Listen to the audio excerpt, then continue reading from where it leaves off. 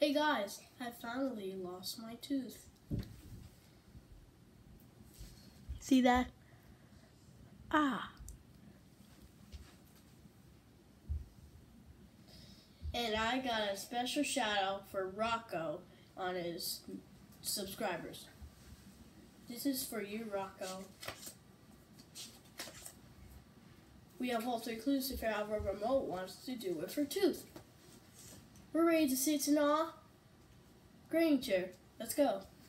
And now Zachary will get a cookie and some money from the Tooth Fairy because he asked for a cookie. Of course. And the next time I lose my tooth, I will get a toy and money.